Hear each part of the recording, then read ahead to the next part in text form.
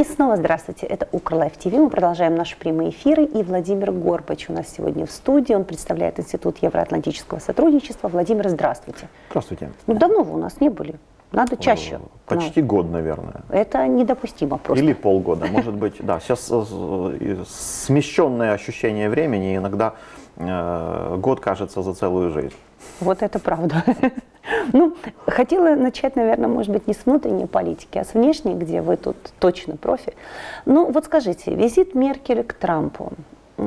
Как-то о нем писали, сказалось много, ну, может быть, даже поверхностно. Что это было? Зачем это было нужно Меркель? Давайте посмотрим именно не просто вот в загале, угу. а с точки зрения интересов. Меркель, интересов Трампа, ну и потом, конечно, интересов Украины, если получится. Ну, во-первых, это, зачем это было нужно? Для личного знакомства, э, конечно же, потому что у Меркель был основной э, внешнеполитический партнер э, до Трампа Обама, и надо сказать, что был, это партнерство было очень успешное и ну, как бы взаимовыгодное.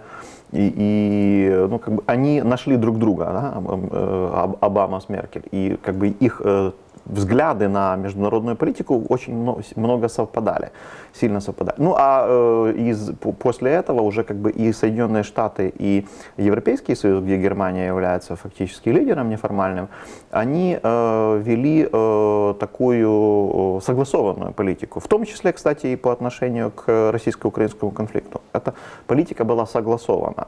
Ну, двигались как бы параллельными курсами, те же санкции вводили почти одновременно, ну, друг за другом, но тем не менее одинаковые почти санкции. И политика была э, та же.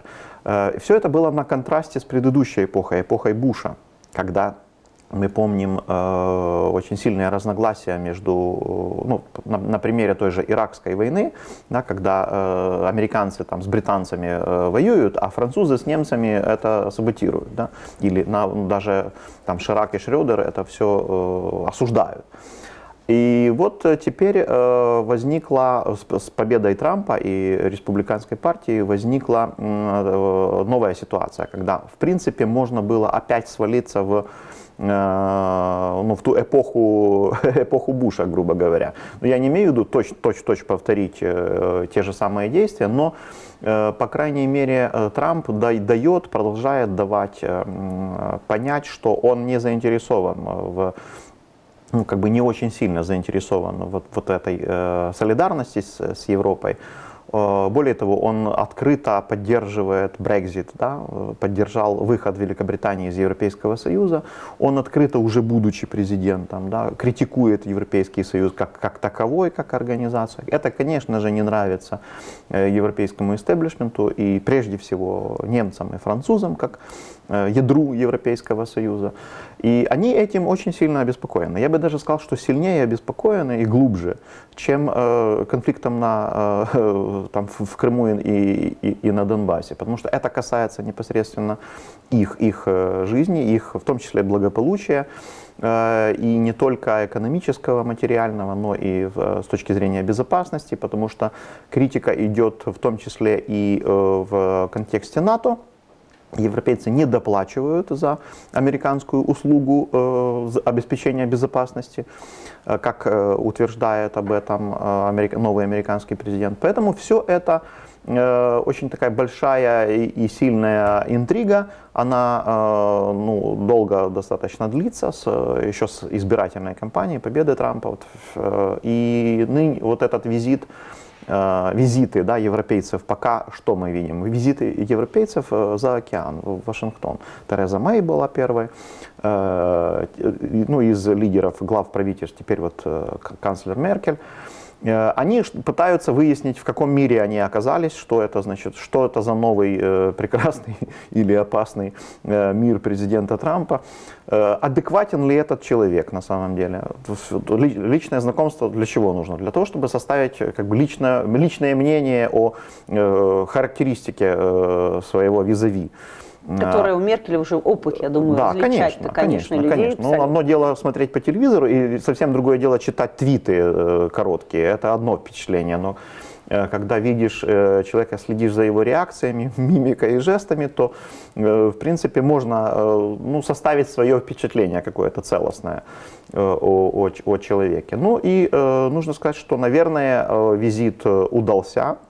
Ну, не, не, не, не нужно было, конечно, а, ожидать от этого какого-то колоссального прорыва, но, по крайней мере, то, что они э, спокойно поговорили и что Трамп э, пока соглашается с тем, что говорит Меркель, э, это уже хорошо, да, это как бы Э, ну, он демонстрирует, что он как бы отдельно, да, все-таки э, океан э, разделяет эти страны, но тем не менее такой, какой-то такой грубой критики, да, ну, безапелляционной со стороны Трампа не прозвучало. Очень вселяет надежду то, что он все-таки на там последнее на, на брифинге или пресс-конференции э, мало говорил от себя, а э, больше читал по, по, по, тексту. Это говорит о том, что аппарат Белого дома все-таки начал э, работать и следить за речью своего президента. Ну, вы считаете, вот там же подводили итоги, вот для Украины, для украинских интересов поменял что-то этот визит или нет? Прозвучало, вот впервые, впервые не прозвучало, когда Меркель говорила, она сказала суверенное государство, но она не сказала целостное впервые не ну, э, Вы заметили или нет? Я нет. Устная речь э, не всегда э, все в ней, в ней можно высказать так, как пишутся документы, там, например, Еврокомиссии, которые читаешь и не понимаешь, о, о чем речь, потому что сильно много терминов, и они идут все в одном предложении или в одном, в одном абзаце. В устной речи э, такое допускают. Не всегда все можно сказать, то, что свою позицию описать. Э, поэтому тут э, главные выводы э, из встречи Меркель с Трампом для Украины. Во-первых, боязнь или опасение каких-то таких неосторожных движений Трампа в рамках НАТО были сняты. Да? По большому счету он сказал, что это то, что то, то, что объединяет, это вот э, та, та тема, которая, которая им, э, э, ему близка, и он не собирается выходить, по, по крайней мере, из Североатлантического альянса. Но э, Германия должна заплатить за американскую услугу. Это было тоже как бы сказано почти постфактум. Но тем не менее, Меркель говорит, да, мы, мы будем это делать, но не сейчас, а в 2024 году. Как, как-то они, в принципе, э, ну, поняли друг друга, о чем, о чем речь. Не стали там, так сказать, раздувать этот, эти противоречия до уровня конфликта. Для Украины это хорошо, э, то, что НАТО а, остается НАТО и будет усиливаться. А другой вывод э, это то, что фактически Трамп принял позицию Меркель по вот этому урегулированию на, на Донбассе. Минск. Хорошо. Минск. Да, хорошо это ли, или плохо для Украины, э, пока сложно сказать. Это зависит от того, хорошо или плохо для Украины э, сам, сам Минский, э, Минский процесс. И, ну, не так процесс, как вот эти вот, то, что называется договоренностями. Оно и хорошо, и плохо. Но, по крайней мере, что это означает? Что, они, что Меркель пошел фарва... Трамп пошел в фарватере Меркель в этом вопросе. Во-первых, у него нет своей позиции. Ну, как бы позиции. У него нет своего рецепта, что, что делать. И поэтому он решил э, при, э, причалить к тому берегу или э, присоединиться к точке зрения, э, к подходу да, Меркель к этому вопросу. Э, ну и это э, еще во внутри, внутриамериканском контексте, это означает, что э, Трамп стал на позицию Обамы на самом деле, не говоря об этом пока ничего, но по, по сути дела, да, да, поручение или делегирование Меркель лидерства в, в, в этом урегулировании или в посредничестве войне на Донбассе, это политика, продолжение политики Обамы, как бы, ну, такое самоустранение от вопроса и ну, как бы выдвижение в первый ряд именно немецкого канцлера. Ну, тут хорошо сыграет слово «пока», наверное. Да. да? Э, ну, пока, потому что это, э, конец этому пока уже фактически приходит. И э, то, чем дорожил, почему Меркель дорожит этими, этими минскими договоренностями, она их рассматривает как инструмент удержания ситуации в тех рамках, в которых они есть. Да? То есть удержать ситуацию от дальнейшей эскалации, это как бы идея фикс ну, э, ну вот то, э, то, э, к чему а немецкая внешняя политика стремится, и то, на чем а, она делает самый главный акцент. То есть не допустить дальнейших как бы, эскалации конфликта и э, увеличения количества жертв там в каком-то геометрической прогрессии, поскольку эскалация именно так может развиваться. Это самое главное, что они видят. И, и, и, и пробовать регулировать э, процесс вот в рамках того документа, который подписала Российская Федерация. Потому что другого документа нет, просто-напросто. На другое ничего э, россияне не соглашаются. Поэтому идет конфликт интерпретаций. Но в последнее время уже наметилась, наметилась как бы финальная стадия этой всей игры – Э, поскольку и россияне... Под названием Минские да, договоренности? Да, да, под, угу. под названием Минские договоренности, поскольку э, и россияне делают э, шаги, которые украинская сторона трактует как односторонний выход из минских договоренностей. И украинская сторона тоже вынуждена как бы, делать вот с блокадой, например. И шаги, которые российская сторона трактует как односторонний выход Украины из, Минского, из минских договоренностей. Поэтому эрозия минских договоренностей, она уже дошла э, до той стадии, когда э, ни у кого никакой э, веры нет в том, что это можно сделать в принципе, да, выполнить эти соглашения. Но и, и другая альтернатива не озвучена.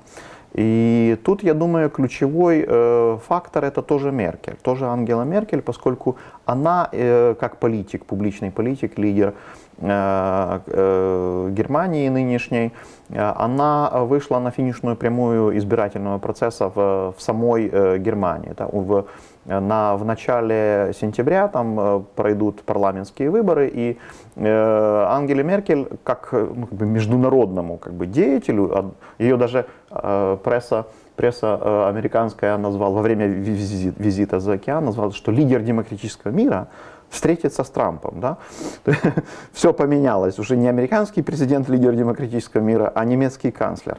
Э, и ей это, конечно же, э, нужно в том числе для выборов, для позиционирование себя перед э, своим электоратом как, ну, как бы лидера международного масштаба, успешного лидера. Вот э, и если нельзя достигнуть успеха в выполнении этих Минских соглашений, то надо хотя бы протянуть э, их до, до момента голосования, что они еще, от них еще не отказались стороны как бы, процесса. То есть не показывать, что априори это да, была ошибка. Да, да, да. Ну, э, ну, как бы ошибка это или не ошибка, это э, сложно сказать, потому что неизвестно, что было бы, э, какая ошибка была бы больше, да, или, или глубже. Не, ну когда потому что это не работает, как временный, да. временный инструмент, это ну, на какое-то время сработало. Но Естественно, что э, это э, не стало э, инструментом решения всего и не могло им стать, судя по тому, как был выписан этот данный текст. Поэтому нужно было понимать изначально, что это рамка для того, чтобы держать стороны вот, ну, в, в, в каких-то условиях хотя бы, поместить их в какие-то рамки. Именно этим мы пользовались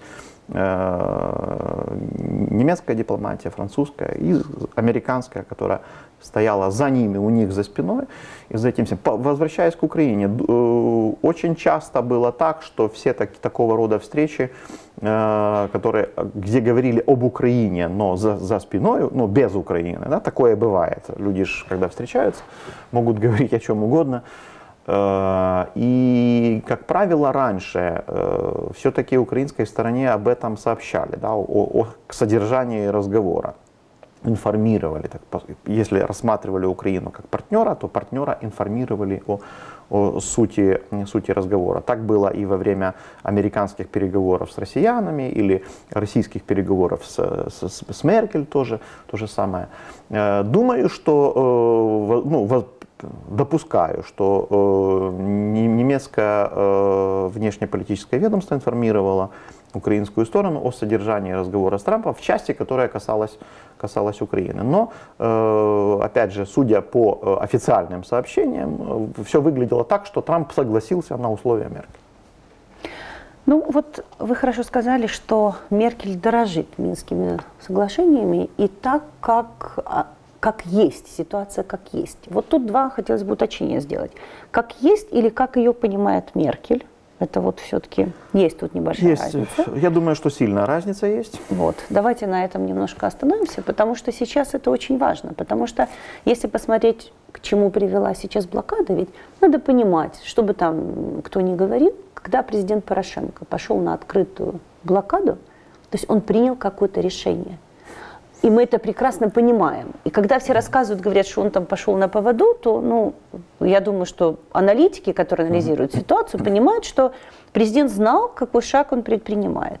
И вот ну, а иначе? Ну, не знаю, надо у него спросить. Знал, ну, а вот знал. вы как думаете? Ну, да? смотрите, начнем с э, Меркель, как она воспринимает э, процесс э, войну на Донбассе, как есть на самом деле. Конечно же, разница есть, ее не может не быть, поскольку э, и мы видим, в принципе, эволюцию не только э, точки зрения Меркель, а всего э, всего за, западного там, политикума, истеблишмента, даже аналитики тоже эволюционируют в своей оценке того, что там Э, происходит. Но в какую мы, сторону сразу скажите? В сторону понимания, в сторону, в сторону понимания, потому что изначально понимания не было вообще никакого.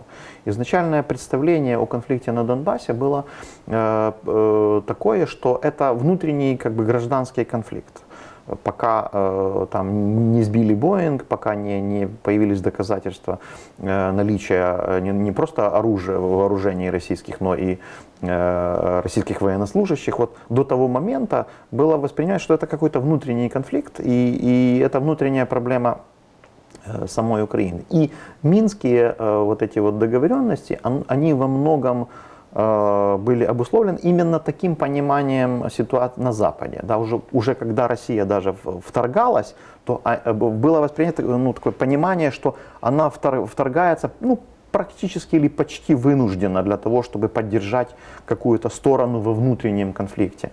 И вот эта иллюзия того, что можно этот конфликт урегулировать через внутриполитические, внутренние политические реформы в самой Украине путем там, изменения конституции, какого-то особого статуса, вот эта иллюзия она э, была у, у западных политиков. Почему? Потому что они оценивали изначально, что это внутренний конфликт, который можно решить внутренними э, э решениями внутри Украины, да, политическими решениями.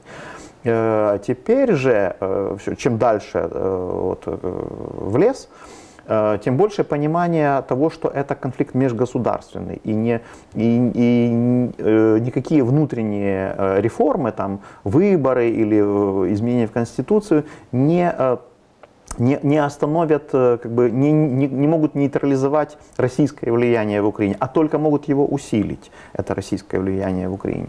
Поэтому э, э, все больше и больше понимания э, того, что Украина не может это выполнить в принципе, э, что там прописано, так как трактует это российская сторона. И э, э, начинается конфликт интерпретации российско-украинских этого текста. И Запад, э, в том числе э, Германия, она, они э, все больше и больше ста, становились на точку зрения, ну, стали э, более, лучше понимать украинскую позицию и поддерживать, по сути. Где через э, ну, умолчание какое-то, потому что россияне тоже апеллируют к ним. Да, в, э, повлияйте на Украину. Да? Вот она не выполняет Минские соглашения, повлияйте, заставьте их это сделать. Но не заставляют, потому что понимают, что заставить не могут на самом деле. Э, потому что уже больше дальше некуда заставлять. Были попытки, мы, мы это все видели в первые годы ну, особенно. Ну, прессинг, да. Да, и, и давайте одновременно, параллельно делать политические реформы и э, обстрелы проводить и так дальше. Э, то есть это, это все было, но эволюция она есть. И э, э, она, в принципе, вот в сторону большего и лучшего понимания реальной ситуации. Э, теперь о, о блокаде. Э, ну, по сути, э, это все произошло. Я думаю, что это э, то, что власть э, решила э, возглавить этот процесс, это вынужденный шаг, и он вынужден именно из внутри, внутриполитических э, как бы, причин. Например? Власть поняла, что она не контролирует процесс, она не контролирует ситуацию в стране, и она вовремя не отреагировав на эту ситуацию, когда она зарождалась, а я хочу напомнить, что 15 февраля, кажется, было первое заседание РНБО, Совета национальной безопасности, посвященное этому вопросу, которое завершилось ничем, оно не приняло никакого решения. Как не приняло? Было же решение РНБО навести порядок да. и обеспечить да. бесперебойную работу. Но этого ничего, но сделано это не было. То есть, э, насколько я понимаю, проблема в том, что тому, кому поручили, он это сделать не мог и, и э, силов, силовые, силовые органы э, как бы кивали друг на друга, кто этим должен заниматься. В результате никто на себя эту ответственность не взял, потому что э, все было очень взрывоопасно. И власть побоялась просто ну, как бы задушить это в зародыше. Вот они побоялись этого сделать, потому что они думали, что из искры возгорится пламя, да, и можно, в принципе, потерять контроль над, над ситуацией и потерять власть, по большому счету. Э, не через выборы, а вот уже тут и теперь, вот сейчас, там, путем какого-то там военного переворота, грубо говоря, ну, квазивоенного. Э, я думаю, что эти страхи, конечно, ну, э, это присутствовало, присутствовало. И поэтому они решили, что есть шанс не обращать внимания, и оно само собой, проблема сама собой рассосется. Не рассосалась, ее пришлось возглавить. Это уже последние, последние каплей были решения областных советов, Э, ну, вот, на Западной Украине ну, поддержать и, и центрально, да, да, да. Э, уже как бы политические манифестации. И тут власть поняла, что она уже ничего не контролирует, просто не контролирует. И для того, чтобы возобновить хотя бы видимость контроля, этот процесс нужно возглавить. Вот когда э, пьянку невозможно остановить, ее нужно возглавить и таким, образом, и таким образом контролировать. Поэтому я думаю, что решение было вынуждено. Э, но оно на фоне, возвращаясь к международному контексту или внешнему, оно было э, ну, тоже как бы не в вакууме, как бы не, не только внутренние причины, но во внешних, э, но во внешнем интерьере да, или антураже.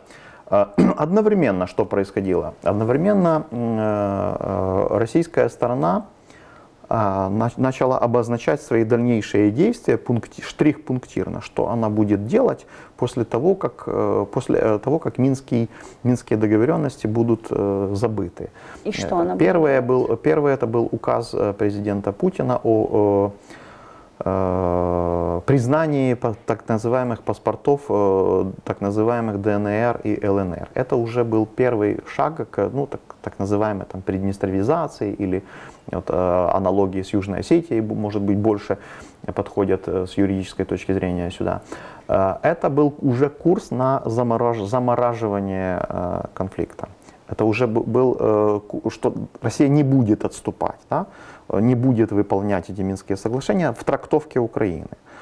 Потом вторая, второй шаг это была вот так называемая национализация там, предприятий. Э, с украинской юрисдикцией на, э, э, не под, на подконтрольной России территории Донбасса. И третий шаг это вот визит Плотницкого и поездка, назовем это так, гражданина Плотницкого или Плотницкого с Захарченком в Крым, в Ливаде, и там уже как бы озвучивание какой-то там э, интеграции, э, создание комитета интеграции Донбасса с Россией, так это называлось. То есть, в принципе, это вот те, те три, э, три шага, которые, сделаны, которые ну, доказывают и являются каким-то аргументом э, в пользу того, что Россия не собирается и не будет э, выполнять Минские соглашения в трактовке Украины, а будет продолжать делать или то же самое, или еще больше. Потому что, поскольку за этими всеми делами идет военная эскалация. И она идет, это логика процесса. Она уже началась, и э, ну, зимой это вот э, февраль особенно, и теперь вот март. И последнее время это особенно э, стало видно. Украинская сторона обвиняет Россию. Да, вот когда был этот указ Путина о паспортах, э, первым среагировал Турчинов, он сказал, что Россия выходит из Минского процесса, из Минских соглашений. Тоже, сразу же в этот же день или на следующий Климкин в, в Мюнхене на конференции тоже сказал то же самое, что Россия выходит, это вот все, демарш, Россия выходит из Минских соглашений. Э, это когда только о паспортах начали говорить. Когда президент Порошенко э, ввел своим указом в действие решение РНБО о, о, о том, чтобы возглавить фактически эту блокаду, э, российская сторона там устами Лаврова или Пескова, уже не помню, может быть, обоих, тоже среагировала так же. Они сказали, Украина э, выходит, ну, нарушает минские э, договоренности и фактически в одностороннем порядке оттуда выходит. Что мы имеем? Мы имеем игру состязания, э, на кого переложить, кто на кого сможет переложить ответственность за э, крах э, Минских соглашений. Вот, вот ключевая суть нынешнего момента. Ну, это значит, что в них уже никто не верит делают вид, очень давно, кстати, делают вид, что, э, сторон, что они придерживаются, обвиняя другую сторону, они говорят, а мы придерживаемся. Но на самом деле, конечно же, э, может быть, если кто и придерживается этих соглашений, то Ангела Меркель. Это хорошее, хорошее подведение итогов. Но все-таки вот то, что блокада, решение о блокаде было принято, Считаете ли вы, ну все-таки, смотрите, РНБО – это люди, которые руководят страной, члены РНБО. Это президент, он его возглавляет, это премьер-министр, это спикер, это секретарь РНБО. То есть эти люди, это, это люди, которые руководят страной. И вот люди, которые руководят страной, принимают решение об этой блокаде.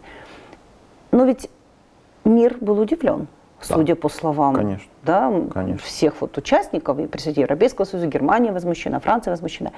И вот эта реакция, означает ли это, что Петр Алексеевич берет другой курс во внутренней политике. Другой, пока непонятно какой. Но вот даже если посмотреть, вот готовится он к выборам или нет. Вот смотрите, блокада, да, вот с точки зрения там популярности, ну скажем, на волне, да, вот он решил ее там подхватить волну.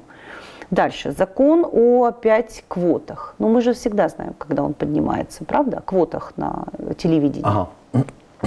Закон о гражданстве. То есть вот, вот такое чувство, что президент хочет вот как бы подгрести, извините за это выражение, за это выражение под себя патриотично настроенные такие вот там патриотично настроенных граждан, но зачем-то же он это делает. Вот не просто же так. То есть, если он говорит миру, нет, ребята, все, я уже не играю в вашу игру, что я отказываюсь от Минска, даже если я это не произношу, вот получите, и мне без разницы, что вы там удивлены. Вот вы видите в этом, что Порошенко начинает свою игру по направлениям всем, и внешним, и внутренним? Ну, э, я думаю, что свою игру он давно ведет, именно как, как свою. И, и самым главным козырем э, в его руках он считает, наверное, свою личную политическую хитрость, и что он сможет переиграть всех там, начиная от Путина, заканчивая Трампом там, или Мерки, э, тем, ну, тем более он сможет переиграть внутренних всех своих оппонентов и конкурентов.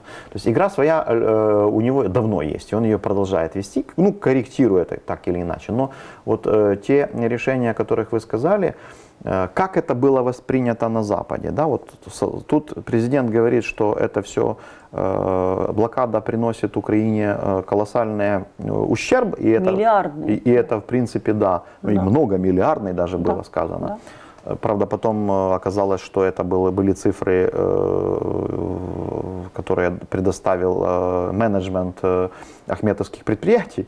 И это были цифры всей, так сказать, имущественной или экономической империи Ахметова, не только той, которая на Донбассе, а в масштабах всей страны. Но но тем не менее, э, сначала было жесткое непри, неприятие э, этого момента, и это правильно было сделано, потому что, ну, э, а иначе это, ну, как бы президент подтверждал бы, что он, да, действительно выходит из Минских соглашений, по большому счету. Позволить себе такую публичную политику, позицию Э, он не мог. Но э, что обескуражило и шокировало э, западных политиков, это мгновенная перемена позиции на полностью противоположную. Э, это означало, э, ну, вывод, который сделали наши западные партнеры, что, конечно же, это э, было выну, сделано вынужденно, и это сделано для, ну, для самосохранения, во-первых, самого ну, власти да, и самого Петра Порошенко на этом посту, когда зашаталась ситуация в стране. Но с другой стороны, и это сделано вынужденно для того, чтобы как-то стабилизировать вообще ситуацию и в обществе, и в государстве, да, возглавив протест. Да. Мы имеем э, дело с э, феноменальной э, политической технологией, когда президент возглавляет политический процесс, протест против него же. Да. Ну вот это вот метод перехвата инициативы. Э, да, что-то похожее, когда коммунисты провозгласили независимость и перехватили инициативу Уруха. Это было начало 90-х. Что-то похожее происходило, ну, в таком микромасштабе, конечно же, э, в, в рамках блокады этой так называемой. Но что самое главное э, вывод, который был сделан на Западе, это то, что, к сожалению, нынешняя украинская власть не контролирует ситуацию в самой своей собственной стране.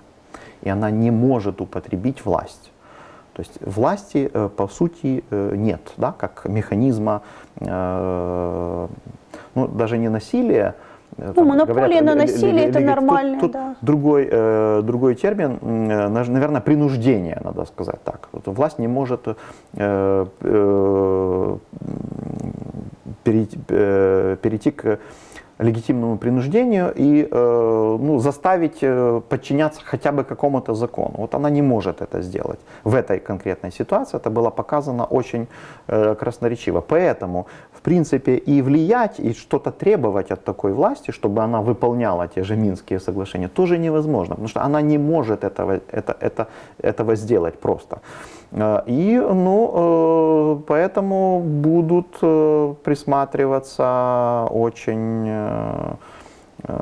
и еще, еще тщательнее к, к любым идеям, к любым своим предложениям, что можно сделать и в Украине в, в контексте там реформ, может быть реформ, да, или, или их продолжение, и в контексте всего российско-украинского урегулирования. Давить бесполезно. Да? Вот пришли к, к выводу, что давить на власть с внешней стороны, из-за границы, уже бесполезно, потому что она уже ну, как бы не может выполнять свои функции внутри самого государства. Теперь э, о, о, о выборах вы сказали.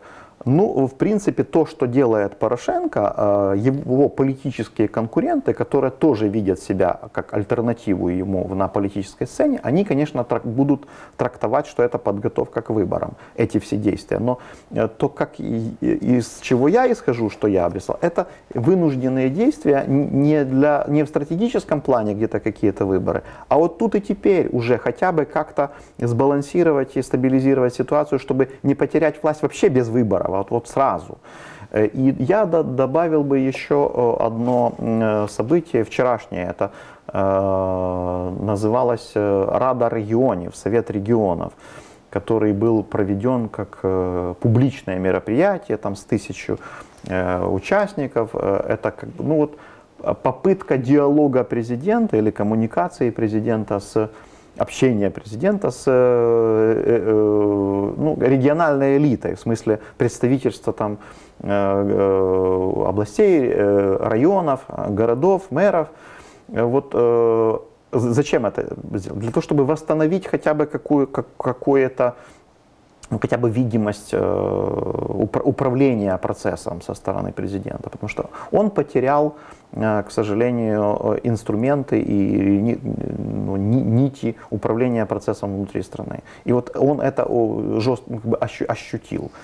И методом вот этого перехвата контроля э, над блокадой, да, или возглавляя протест против себя, он э, ну, пытается как-то вот опять почувствовать, управляет он страной или, или, или не управляет. Э, перспектива выборов это э, ну, не сегодняшняя перспектива для него. Для него сначала нужно возобновить управляемость процессом, потом он может думать о, о, о выборах. И, Вы считаете это возможно сейчас? Что, что именно? Ну, возможно вернуть эти управляемость нити процесса. и управляемость я процесса? Я думаю, возможно. Но э, для этого нужно э, будет э, власти э, жертвовать какими-то вещами. Прежде всего нужно признавать свои ошибки и, и делать это публично. Э, потому что э, и э, ну, это психологический да, такой пласт проблемы, но есть еще и, и, суд исключительно такой технологический пласт проблем. Нужно еще и работать с государственным аппаратом.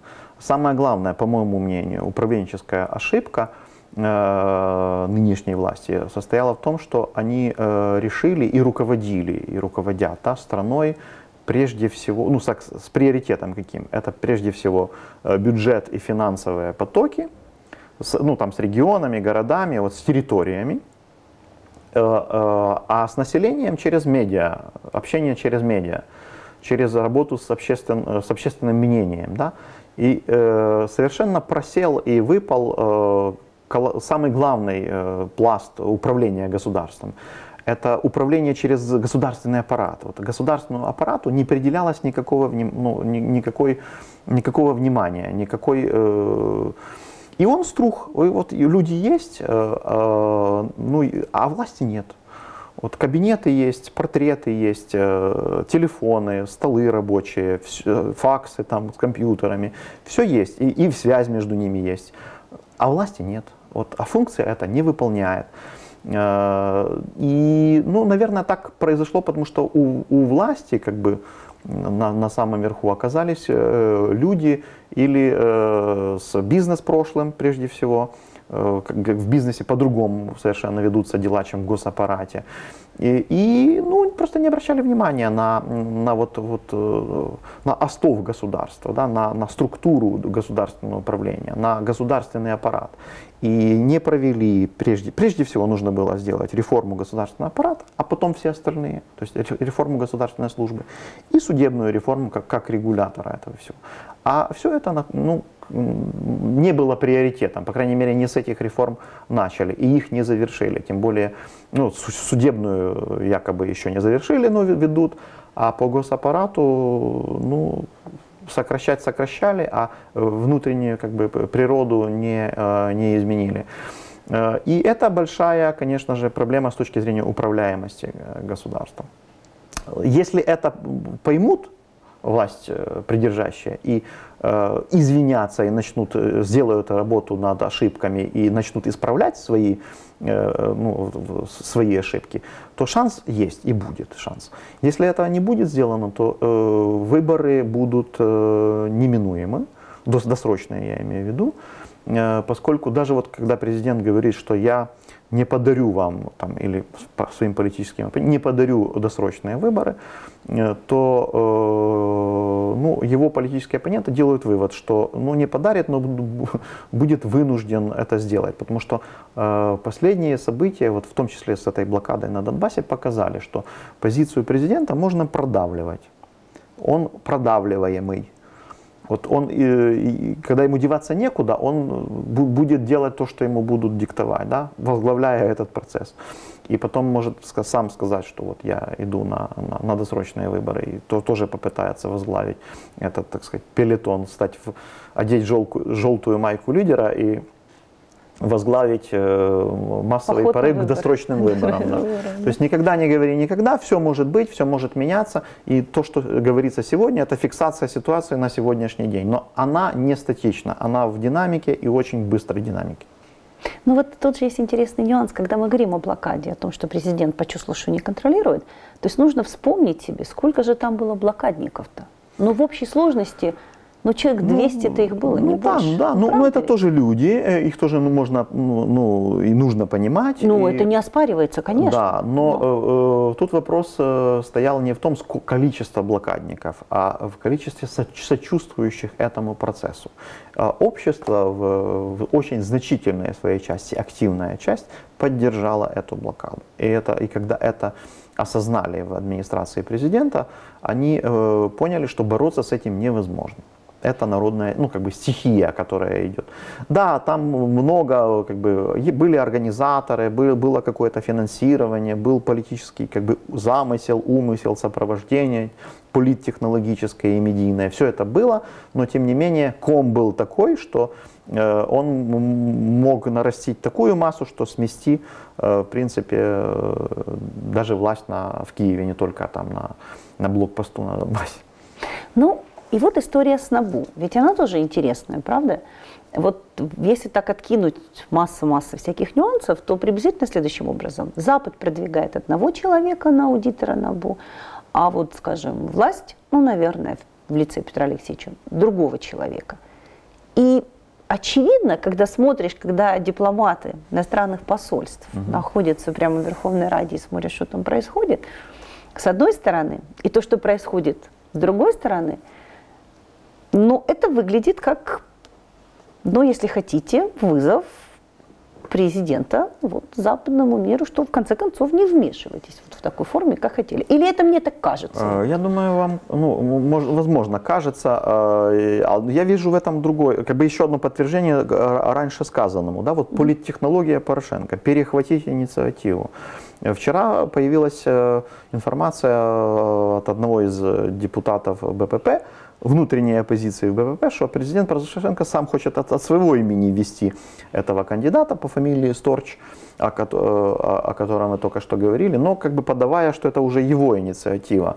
Это тоже способ перехватить э, и, и, и, инициативу. Ну, вот такая вот стилистика э, вырисовывается новая в, в политике. Серфинг такой на, на, на на, на волне, так сказать, э, или на пене, я бы даже сказал, э, вот этого всего сбурения э, эмоционального, стихийного, не знаю, скандального. А, но что касается самого НАБУ и аудита, ну, я думаю, что происходит сейчас... Почему? Это очень сильно политизированный вопрос. Очевидно роль э, аудита в НАБУ не такая большая, как об этом э, все как бы говорят э, там, политики, медиа и, и, и так далее. Это ну, аудитор, да? Ну, в нашем понимании это аудитор, это тот, который, это что-то Э, среднее между или, и бухгалтер, и юрист одновременно. Вот он проводит аудит финансово э, хозяйственной деятельности какого-то предприятия. В данном случае это немножко другое. Э, в данном случае это эффективность деятельности самого как бы, правоохранительного органа, и не только финансовая, но и, и, и не только ну, и, и юридическая тоже. Но ну, фетишиз, фетишизирован этот вопрос. Во-первых, иностранцы, да?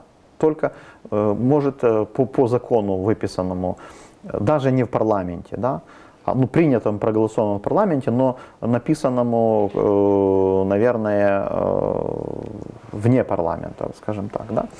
Например, и, и, где и, же? и пролоббированному, про, пролоббированному общественными деятелями, общественными активистами, а, общественными организациями, и частью, частично э, депутатами, которые являются выходцами из этих общественных организаций или э, журналистской деятельности, при э, очень таком э, тесном патронировании и даже финансировании этого процесса, финансировании от, ну, как бы мы все знаем, что вот все эти а, антикоррупционная реформа, создание новых органов, оно в том числе и финансировалось нашими западными партнерами, да, и, и сопровождается, и контролируется, и в принципе это детище, да, вот, вот отдельная какая-то структура борьбы с Э, коррупция. Э, что нужно, о чем, о чем забываем мы сейчас вот во время этих всех споров? Да? Э, что нам говорят те, которые лоббируют, так сказать,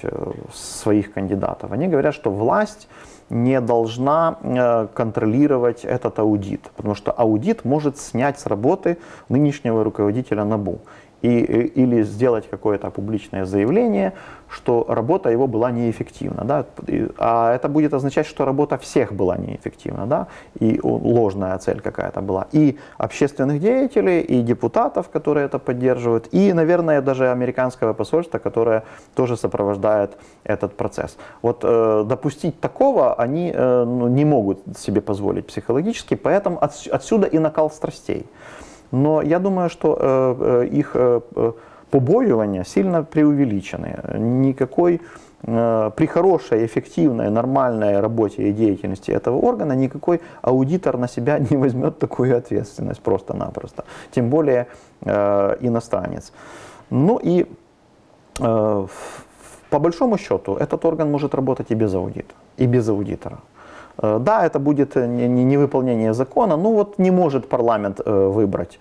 Э, не, ну, к счастью или к сожалению, именно парламент принимает такие решения, а не, не э, какие-то гражданские инициативы или иностранное посольство, и даже не иностранное правительство. Ну вот как-то вот все равно надо э, приходить к какому-то соглашению, к какому-то компромиссу, чтобы хотя бы собрать какие-то голоса в парламенте за, за ту или иную кандидатуру.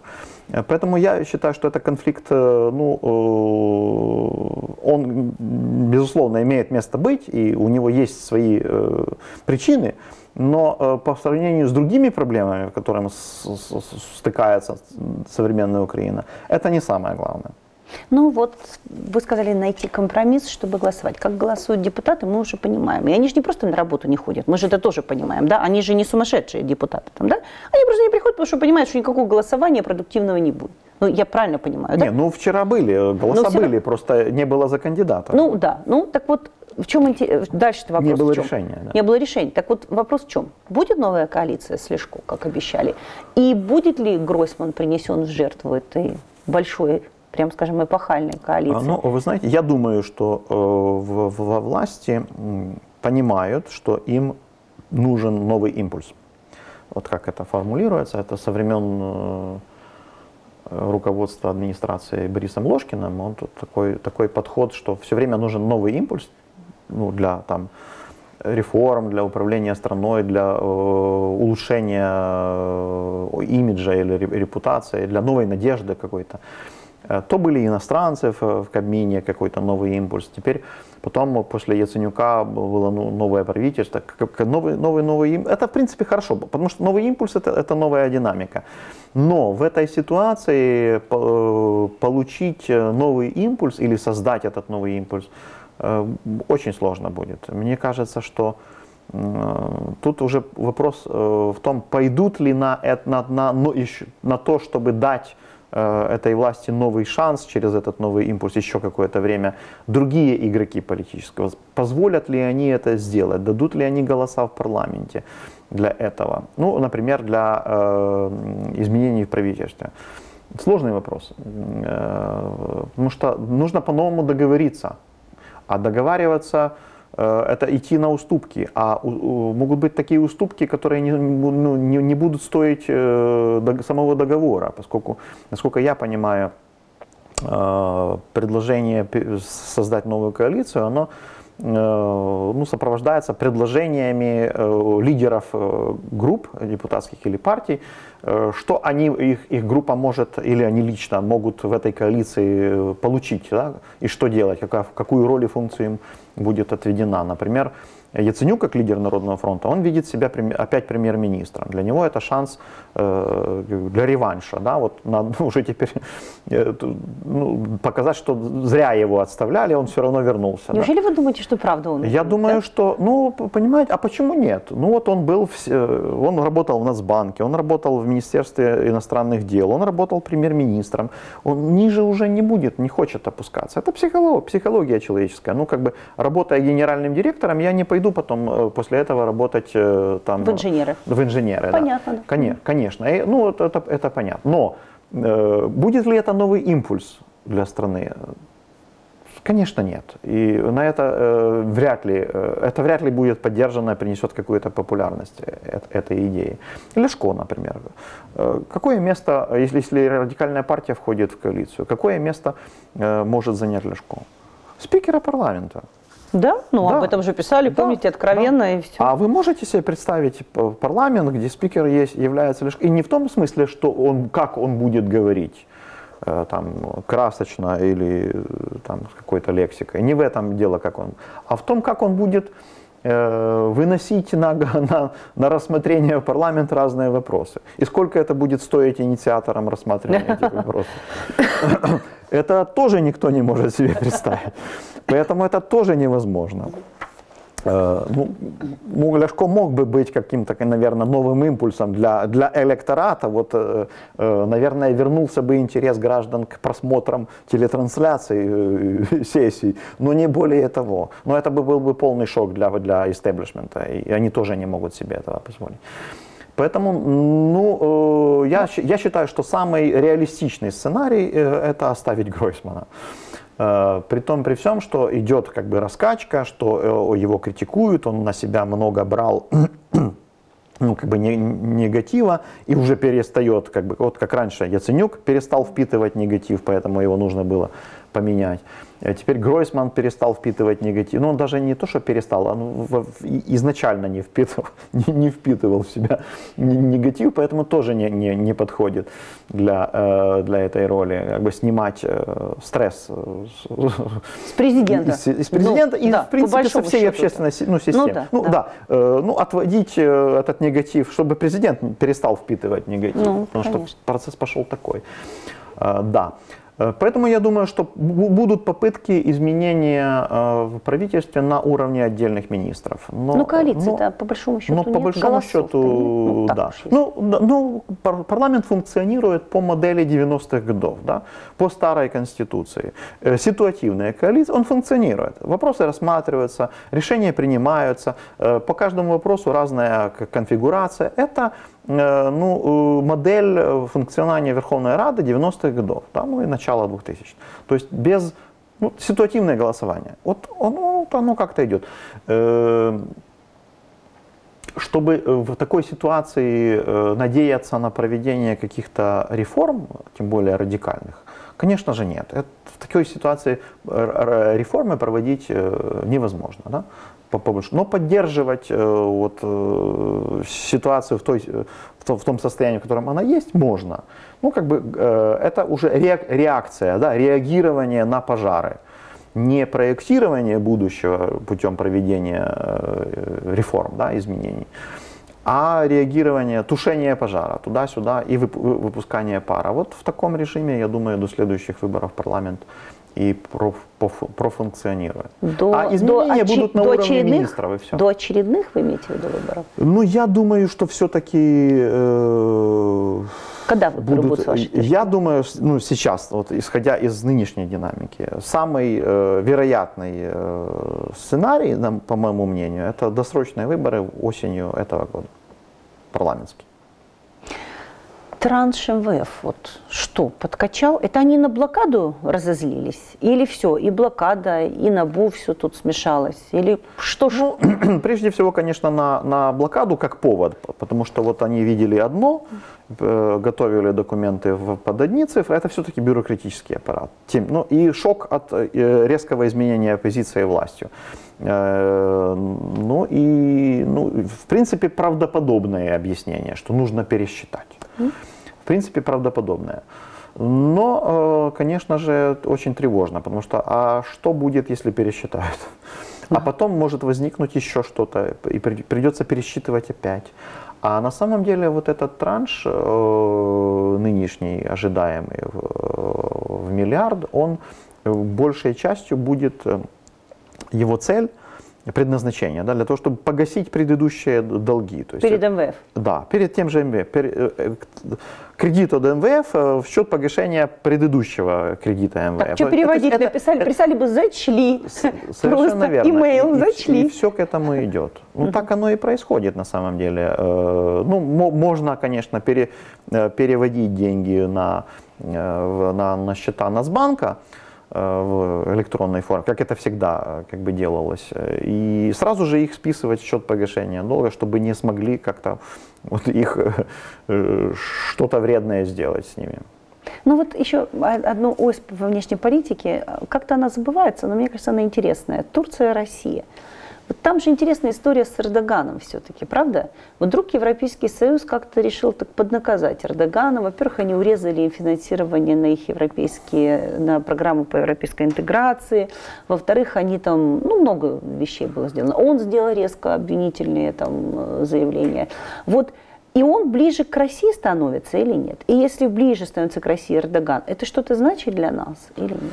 Ну, э, Эрдоган ближе э, никому не становится, он пытается играть э, свою собственную игру, балансируя на, ну, на, разных, на, на разных направлениях, разных векторах. Но пока что он достиг только ухудшения отношений с каждым из направлений на самом деле. Э, у него очень сильно ухудшились отношения с Европейским Союзом, прежде всего с Германией, теперь уже и с Голландией, там раньше с Австрией, ну, в общем, в принципе, с христианской цивили... или постхристианской цивилизацией.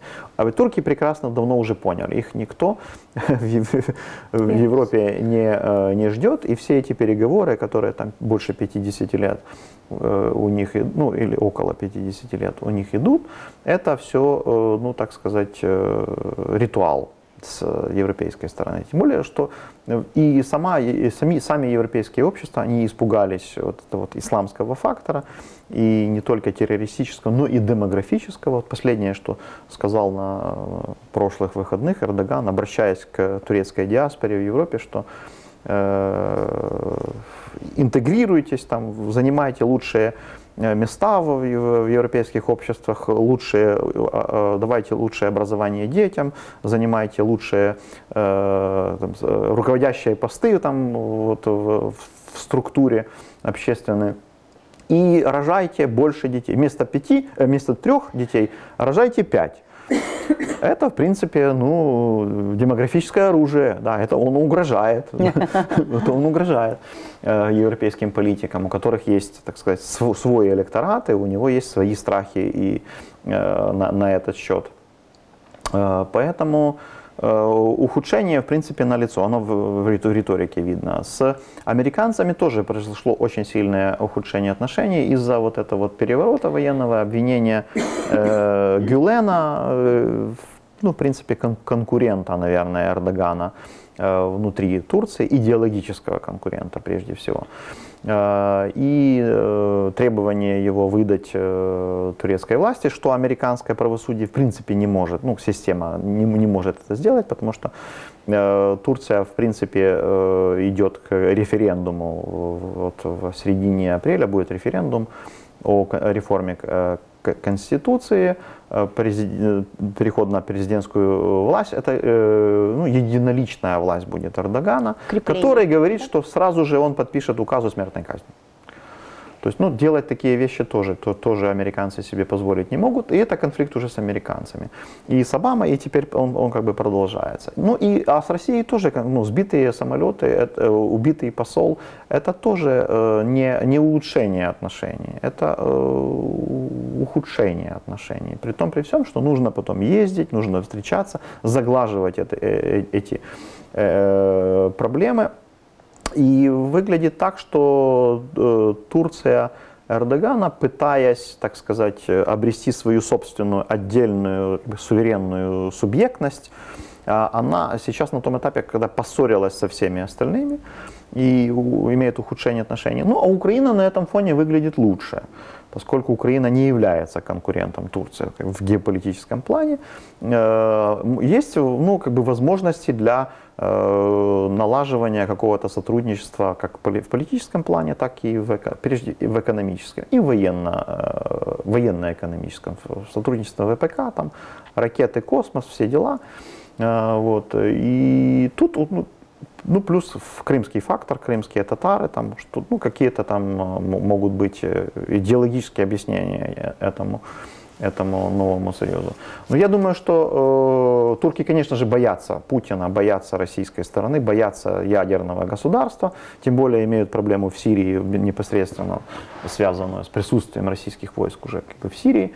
Э, им нужно делать какие-то э, жесты, шаги примиренческие по отношению, сдерживать, так сказать, э, Россию от э, каких-то э, жестких, агрессивных, может быть, даже шагов по отношению к Турции.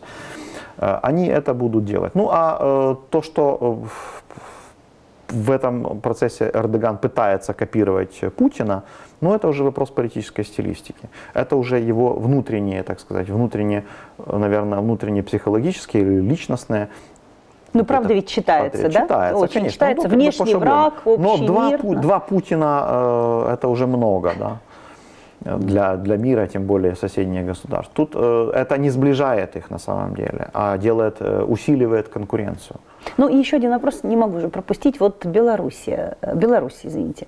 Там же очень интересная ситуация. Ну мы помним, что интересный был повод, да, когда там боевиков задержали, и Лукашенко сказал, что их тренировали на территории Украины, что он будет разбираться, кто тренировал и что это за люди и так далее. Вот не кажется ли вам, что в Беларуси начинается тоже какая-то раскачка режима, и если так, то кто его качает? Кто его трясет? Ну, э, я тоже думаю, что Беларусь теперь это слабое звено и э, трясет э, его от того, что, ну, самое главное, прежде всего, причина, да, у, у Лукашенко был такой общественный контракт, договор с обществом, что э, он обеспечивает им какой-то определенный уровень бедности, ну или это равности какой-то, да, то есть социального, социальный уровень, социально-экономический, что можно прожить, обычному простому человеку на какие-то достаточные деньги, ну, не, не шиковать там без, без роскоши, но тем не менее вот, как-то как-то прожить. Э, это все э, базировалось на, э, на эксплуатации российских энергетических ресурсов и российского рынка для белорусской промышленности. То есть это было завязано все равно на, на российскую экономику. А, мы, а она сейчас в последнее время очень сильно проседает. Да? Падение цен на на нефть, там какие-то санкции антироссийские и, и, и так далее. И э, Лукашенко уже не может поддерживать тот экономический э, уровень жизни э, в, для белорусского общества, и этот контракт постепенно тоже разъедается. Да? Начинаются какие-то э, ну, такие глупые идеи, где взять денег. Вот, например, указ президента Лукашенко декрет там называется, о том, чтобы э, о тунеядцах, да, вот, э, людях, которые якобы нигде не работают, наверное, они работают в теневой экономике, но они так э, думает Лукашенко или авторы этого декрета, их нужно тоже обложить каким-то налогом, там 200 долларов, по-моему, да, в год, они должны заплатить и не работать. Да, но это не понравилось. Это не понравилось очень многим. Вот и начинается вот такое брожение в обществе. Там не столько это были протесты самих тунеядцев, сколько э, э, политические, форма политического протеста против э, ну, глупости власти, скажем так. Э, ну и кто, э, кто расшатывает? Расшатывать, заинтересован в расшатывании ситуации может быть тот, кто в принципе заинтересован в расшатывании всей мировой ситуации. Кто этим занимается? Этим занимается Российская Федерация на самом деле. Это в их интересах создать ситуацию нестабильности везде. Для чего? Для, во-первых, для того, чтобы зацементировать стабильность в самой России, они так думают, что чем больше нестабильности, негативных примеров по периметру э, э, границы российской, тем больше э, потребность в сохранении режима Путина у российских граждан, да, у российского обывателя.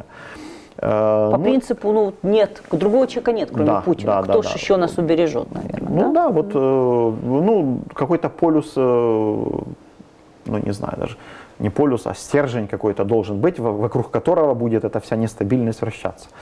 Но без стержня э, это еще, еще э, так сказать, вообще непредсказуемо, что, что будет распад полной мировой системы. Поэтому я думаю, что э, давление, во-первых, военное российское, оно будет увеличиваться, там будут попытаться проводить там, общие военные Э, учения на территории Беларуси, а потом оставлять этих людей, не выводить после учений.